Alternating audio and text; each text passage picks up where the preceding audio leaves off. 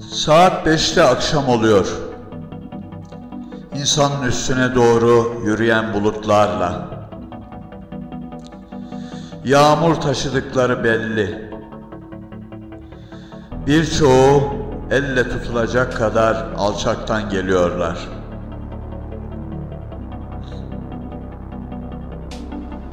Bizim odanın yüz mumluğu, terzilerin gaz lambası yandı.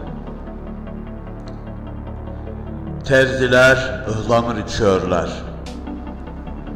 Kış geldi demektir. Üşüyorum.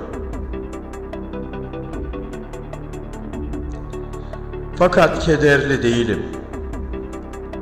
Yalnız bize mahsus bir imtiyazdır.